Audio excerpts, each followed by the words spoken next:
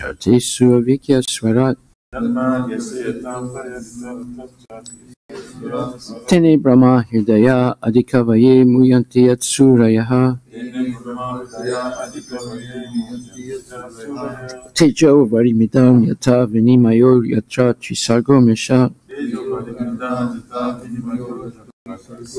Tam Nasvina Sadalirastakuhakam Satyam Param Dimahi O my Lord Shri Krishna, son of Vasudeva,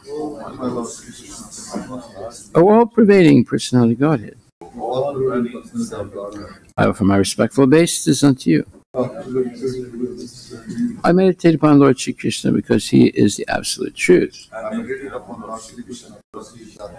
and the primeval cause of all causes, of the creation, sustenance, and destruction of the manifested universes. He is directly and indirectly conscious of all manifestations, and he is independent because there is no other cause beyond him. Is independent because there is no other cause beyond him. It is he only who first imparted the Vedic knowledge unto the heart of Brahmaji, The original living being. By him, even the great sages and demigods are placed into illusion, as one is bewildered by the illusory representations of water seen on fire or land seen on water. Only because of him do the material universes, temporarily manifested by reactions of the three modes, appear factual, although they are unreal. I therefore meditate upon him, Lord Shri Krishna, who is eternally existent in the transcendental abode, which is forever free from the illusory representations in the material world. Which is forever free from the representation of the world. I meditate upon him, for he is the absolute truth. I meditate upon him, for he is the absolute truth. Dharma projita kaitra paramo nirmatsananam satam. Vedyam vastavam atra vastu. Shivadam tapatrayon mulanam. Shrimad Bhagavate Mahamuni Krite Kim Vaparer Ishwaraha Sajohridi Avarudyate Tra Vihi Sususubhistakshanat Completely rejecting all religious activities which are materially motivated. This Bhagavata Purana propounds the highest truth, which is understandable by those devotees who are fully pure in heart. understandable by those who believe in the highest truth is reality distinguished from illusion for the welfare of all.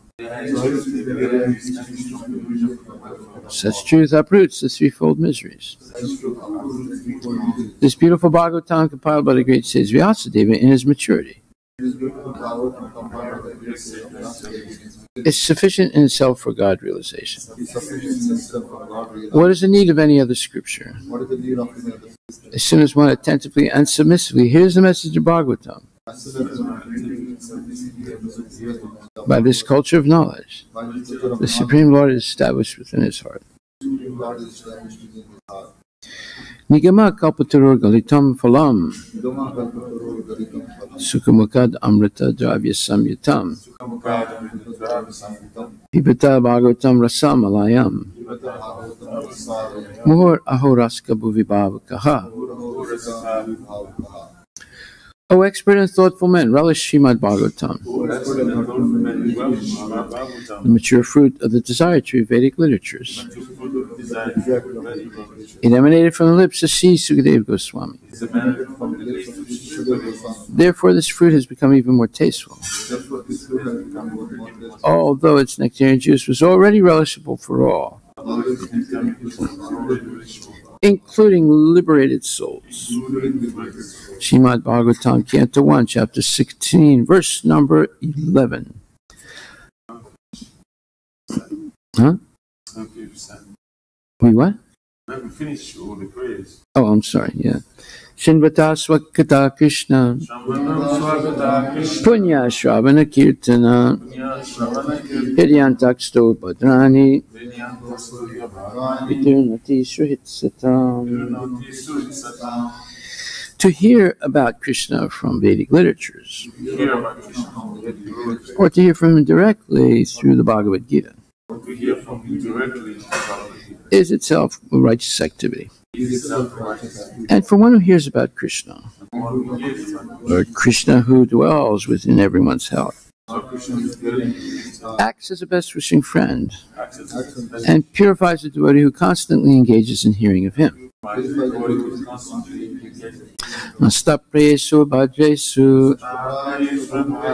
nityam bhagavata sevaya bhagavati utamasloke bhaktir bhavati.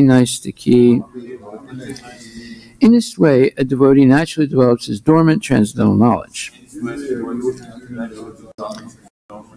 As he hears more about Krishna from the Bhagavatam and from the devotees, he becomes fixed in the devotional service of the Lord. Tadarajastamo bhava kamalobhadayaschaye chete taranavidam stitvam prasidati. By, deve- by development of devotional service, one becomes freed from the modes of passion and ignorance. and thus, material lust and avarice are diminished. Evam prasana manaso bhagavat bhakti yogataha tattva vijnanam mukta jayate. When these impurities are wiped away, the candidate remains steady in his position of pure goodness, becomes enlivened by devotional service, and understands the science of God perfectly. Vidyate hridaya grantis chidyante savasamsaya siyante chasya karmani just evat manishvare. Thus, bhakti yoga severs the hard knot of material attach, uh, material affection, and enables one to come at once to the stage of samsayam samagram, understanding of the supreme absolute truth, personality of Godhead.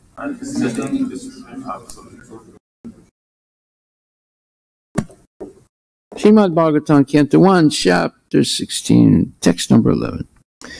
Swalankritam, Swalankritam Shama Turanga Yojitam Ratam Regendra Dvad ध्वजम आश्रित्य पुरात्।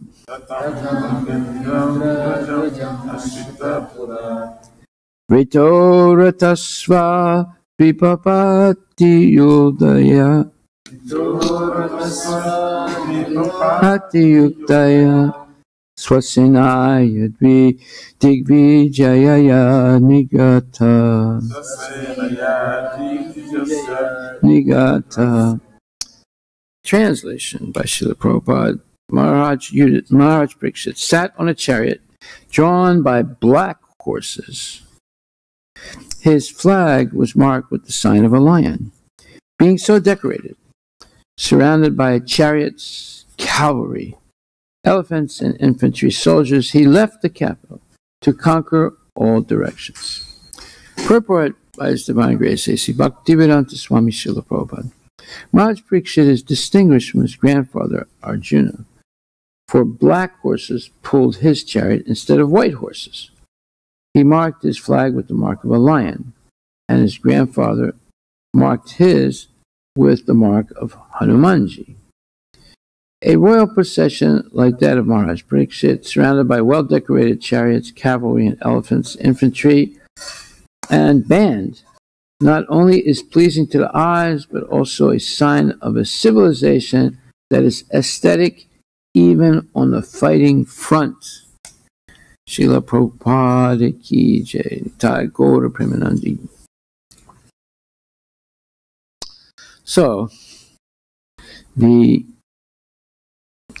civilization and culture of Vedic in Vedic times was very beautiful, pleasant, artistic, and full of significance. Everything was full of significance down to the last detail. Because uh, the Vedic culture is dealing with the supreme absolute truth, Lord Krishna. It's not based on people's speculation.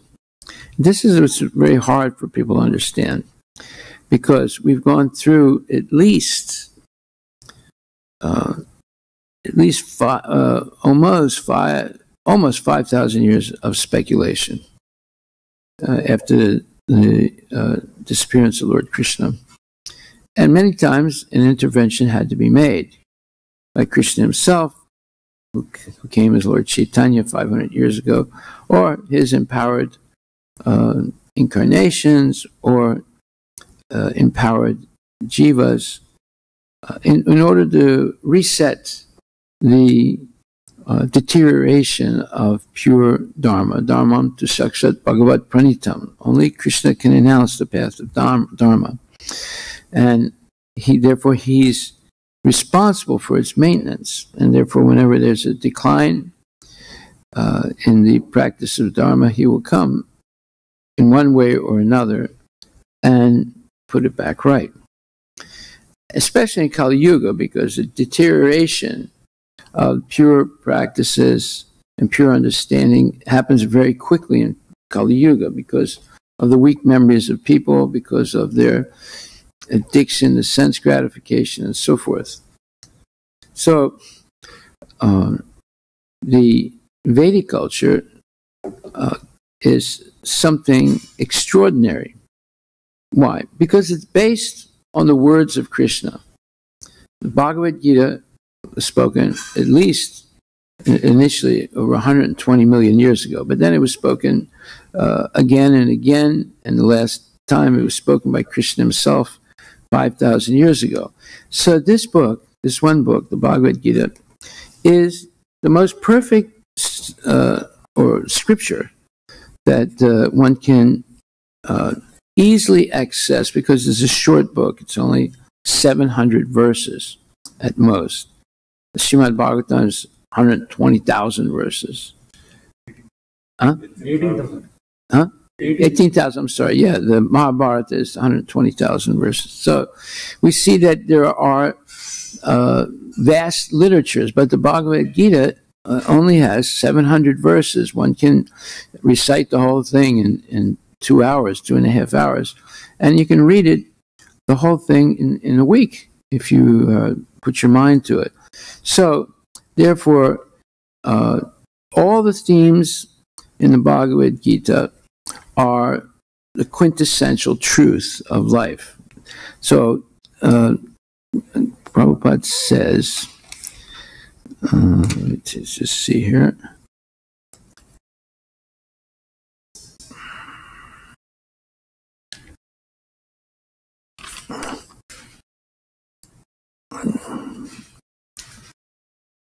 In the fourth chapter, 40th verse, Prabhupada says that Bhagavad Gita is the best of all Vedic literatures. Let's see where he says that. Yeah. Ajnascha Shranadhanasya Samsayat Vinasyati Nayam Lokasti Na Paro Na Sukham Samsayat Manaham. But ignorant and faithless persons who doubt the revealed scriptures do not attain God consciousness, they fall down. For the doubting soul, there is happiness neither in this world nor in the next. And Prabhupada writes, out of many standard and authoritative revealed scriptures, the Bhagavad Gita is the best. Persons who are almost like animals have no faith in or knowledge of the standard revealed scriptures, and some, even though they have knowledge of or can cite passages from the revealed scriptures, have actually no faith in these words. And even though others may have faith in scriptures like Bhagavad Gita, they do not believe in or worship the personality of Godhead. Sri Krishna. Such persons cannot have any standing in Krishna consciousness. They fall down. So this is what has happened after the uh, disappearance of Krishna.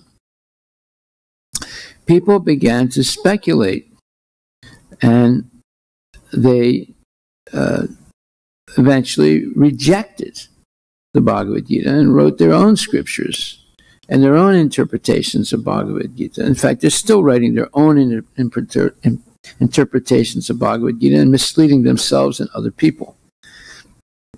Bhagavad Gita is Krishna speaking about himself. There's no one more expert in the subject of Krishna in the spiritual world than Krishna himself. And Arjuna is asking Krishna quintessential questions. In other words, if you met God, you would not be able to think of any other questions uh, to ask than Arjuna did.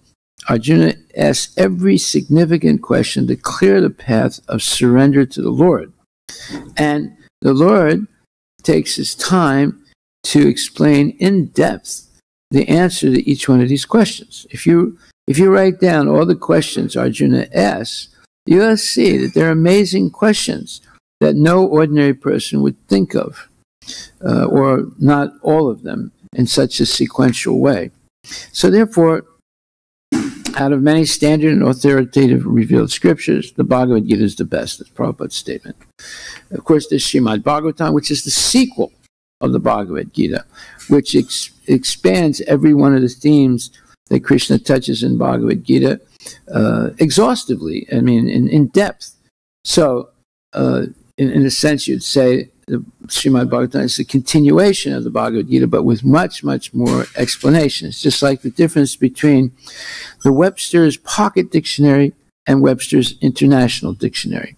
They both have English words that are translated and, and that are uh, defined, but the uh, Pocket Dictionary has very succinct, pithy uh, definitions, and the uh, uh, Webster's International has tremendous elaboration of uh, and history of each word, etymology of each word, and so forth. So there there is a difference between the International Webster's Dictionary and the Pocket Webster's Dictionary.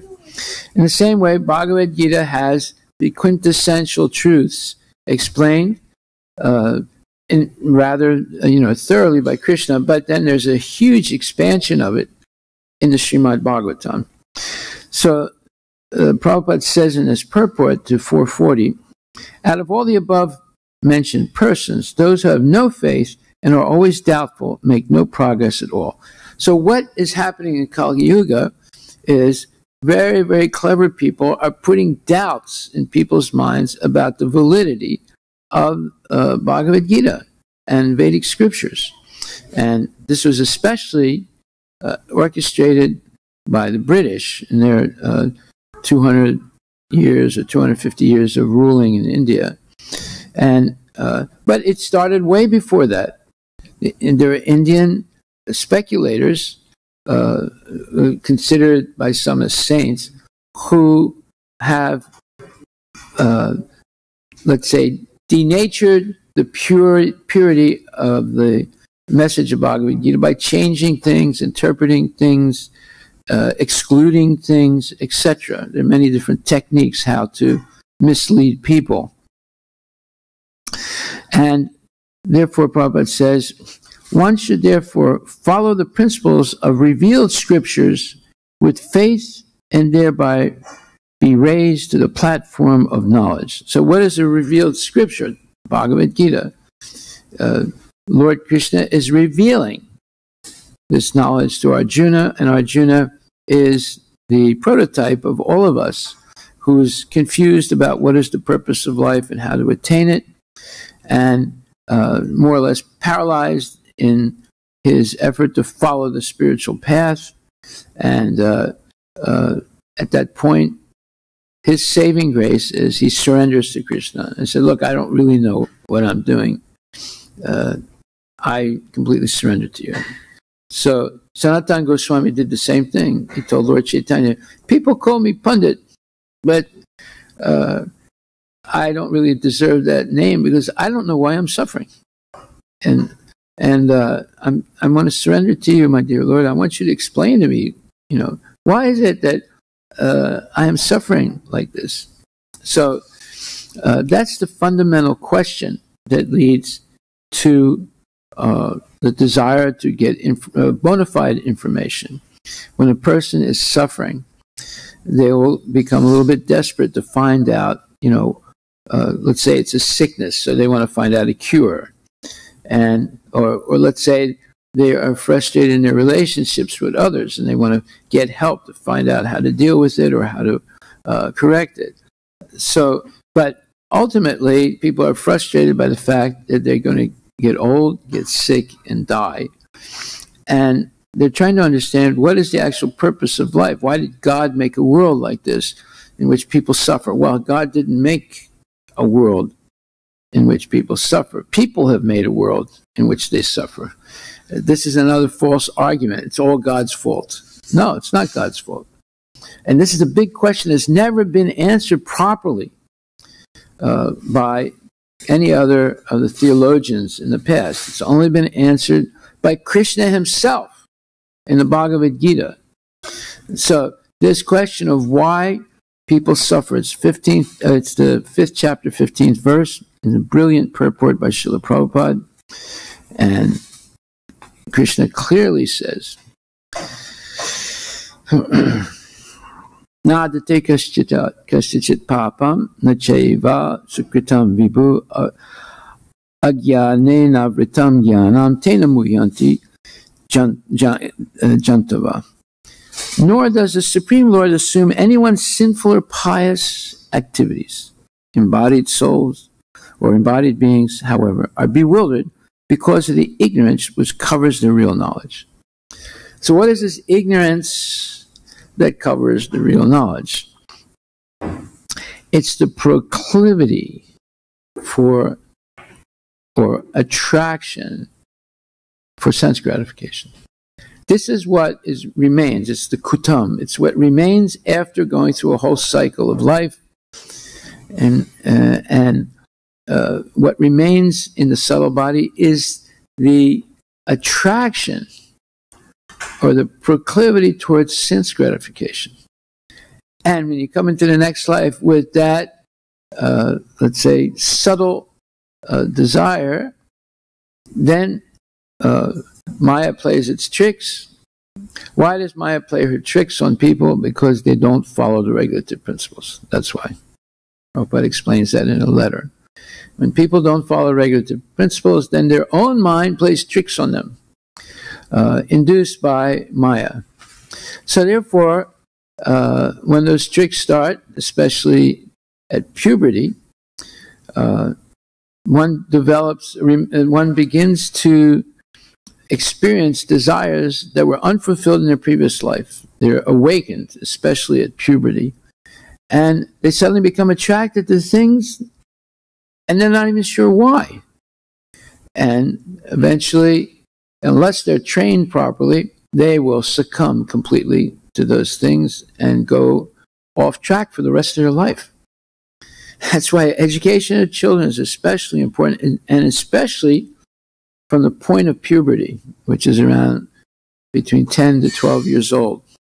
And, and, and men, and I mean, boys and girls both go through pure puberty. It's not just girls. And all these desires are awakened in them, and it confuses them.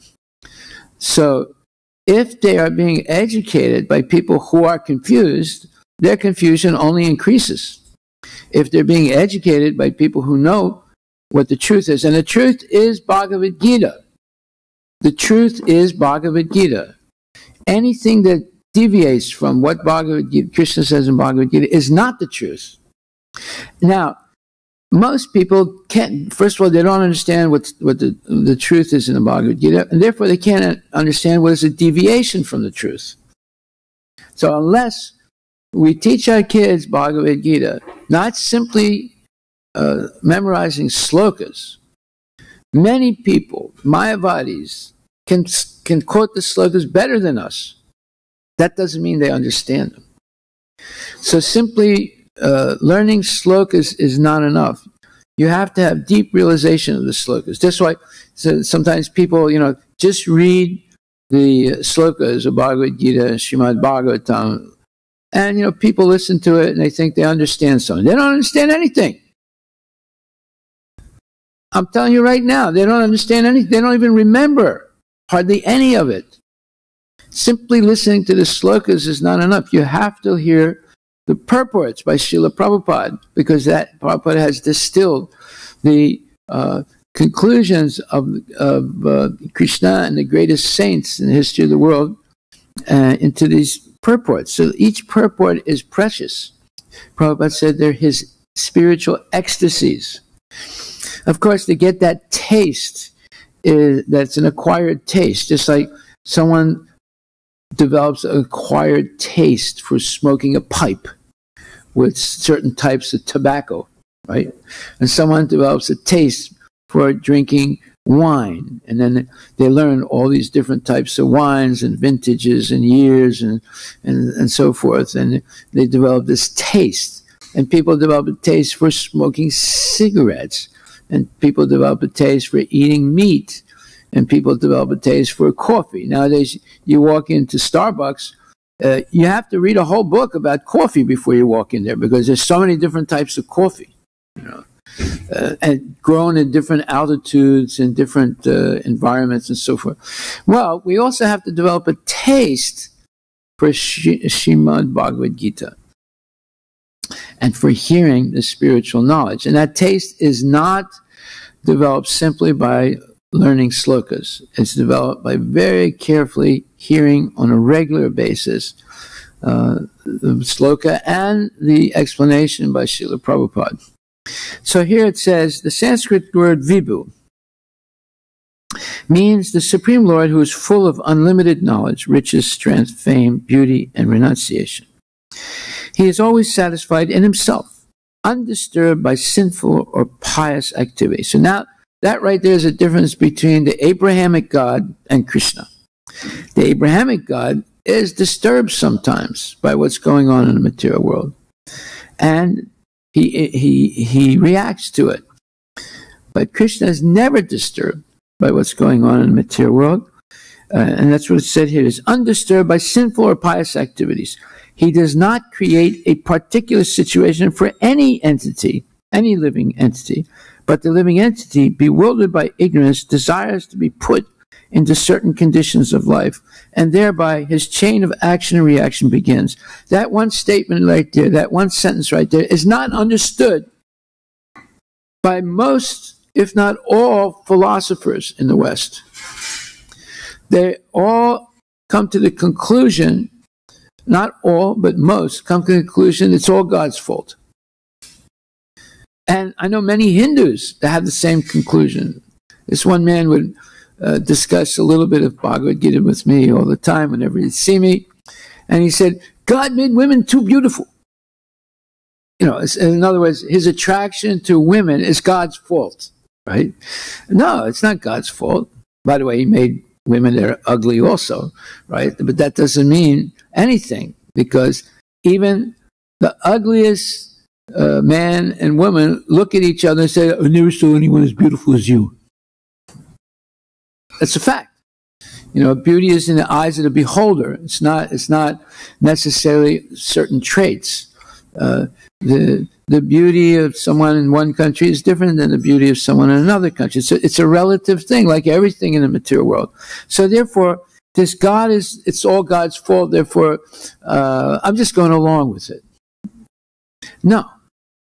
Uh, here it says, he does not create a particular situation for any living entity, but the living entity, bewildered by ignorance, desires to be put into certain conditions of life, and thereby his chain of action and reaction begins. A living entity is, by superior nature, full of knowledge. You see? So, what is the education system today? It's to destroy that knowledge and make the person a victim of Maya. That's what that is exactly what's happening in these schools. That's why they're so dangerous. They are purposely putting false concepts into the minds of these kids so that they will be exploited the rest of their life by uh, the system, uh, political system. In one country, it's communism. In another country, it's capitalism. In another country, it's socialism. In another country, it might be anarchy. In another country, it might be uh, uh, fascism. Uh, the, the education system is meant to dumb down kids right from the earliest time. Just like in Washington State now, they passed a law that children should be taught about homosexuality in kindergarten. Did you know that? Is this true, Prabhu? What? It starts uh, like it starts at elementary, but not. I was not sure it starts that early. Okay, elementary. No, it's uh, okay. Let's say it starts elementary. That means first grade. Yeah. Okay. So did you know that? Did you know that, Prabhu? There's a law now in this in this state. They're going to teach your kid about homosexuality in first grade. I, I heard fifth, but first I did. Well, you- you're you're behind, They're advancing faster than you're you're knowing. So, does it make sense that you should teach a kid in first grade about homosexuality? How it's it's okay to have two daddies and two mommies? And, you know, this is outrageous. But that that's not the only thing. That's just one thing. The many other things they're teaching kids right from the earliest stages to make them uh, not more sensitive about uh, diversity, but make them more uh, uh, accepting perversity. It's not diversity, it's perversity, right? Such as, you know, we have the proof that Darwinism is true. There's no proof that it's true, but they teach it like it's true. And if you say one word against it, they say, we have the proof. What, what's the proof? Well, it's the, uh, it's the, uh, uh, the segment of the tailbone in the human being that proves we were all monkeys before. That's a bunch of nonsense. It's not true. You see? So here we have uh, a massive organization to destroy faith in God. It's funded, and you're paying the taxes to fund it. Billions of dollars every year spent in this country on educating kids to be atheists. Okay, so, and they educate kids that if there is a God, it's all his fault if there's something wrong. A living entity is by superior nature full of knowledge. Nevertheless, he's prone to be influenced by ignorance due to his limited power. That's the position of our kids. They're easily prone to be influenced by ignorance. It's, it's our problem too, but we have a little bit more experience when we grow up. But kids don't have any of that experience. They just have the kutam, the tendency to be attracted to material sense gratification. And unless they're educated properly, the school will educate them to be attracted to sense gratification and to go for it and to convince them there's nothing wrong with it. Anyway, this is a big subject, so I'll stop right there. Uh, are there any questions? Yeah. So Maharaj, why does the the previous desires or previous life desires or karma starts after 10 or 12 years? Is it not like see some kids also have some desires even before they achieve? What is Well, I mean, you know, many people say, "Well, my kid was younger. so, You know, he, he came to the temple and he chanted Hare Krishna. Now he doesn't want to come to the temple, right? So there's a certain innocence up to purity, puberty. Not maybe for all the kids, but most of the kids. There's a certain innocence. Okay, give him the microphone. Well, Yeah, ask the question again. There's a question. So, question was Maharaj, why does the the the desires uh, get well, from the previous desires get invoked during the puberty period? Why not? What are the desires that they have before the even achieving the puberty? Uh, they have they have certain tendencies, and there's two things. One is being born with a demoniac nature. That tendency is there, and the other is awakening of des- unfulfilled desires from the previous life. Which usually happens at puberty.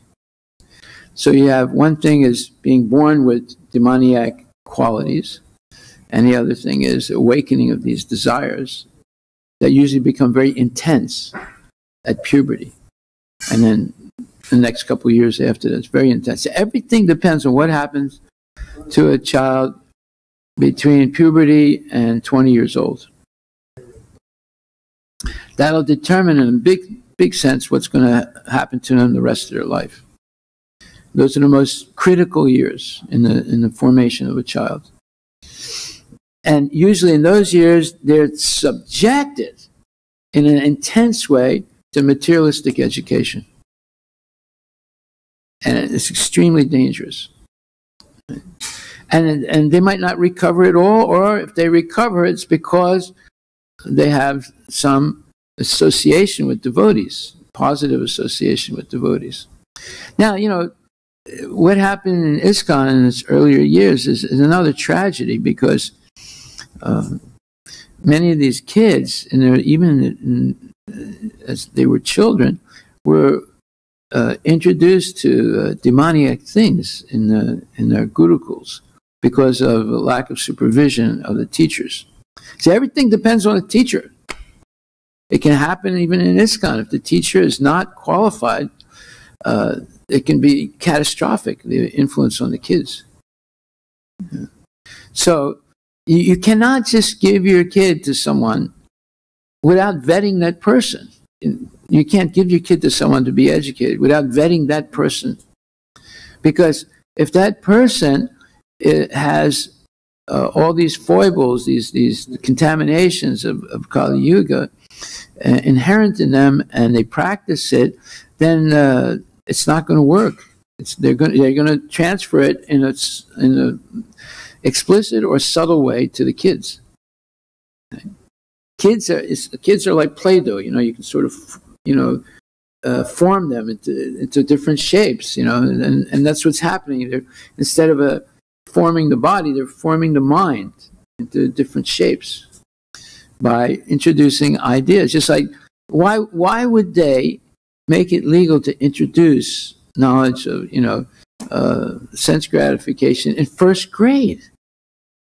when when the kids have no way of dealing with it or or having a you know a background to to know if it's true or false so then then teacher is an authority so if, if she starts or he starts teaching these type of things in first grade the the kid is completely disarmed and the parent is not aware because they're so busy trying to make a living they don't have time to be involved directly in the in the education of the kids the whole thing is is is dangerous, very dangerous. So here it says, uh, okay, so does that answer your question? Any other questions? I will talk some more about this tomorrow. This verse you should read, 515. Read the purport carefully. That is a monumental purport that, that answers some of the most difficult questions of philosophy in the West that have never been answered correctly. And they're answered in that one purport. Haribol, all glories to Srila Prabhupada ki jai.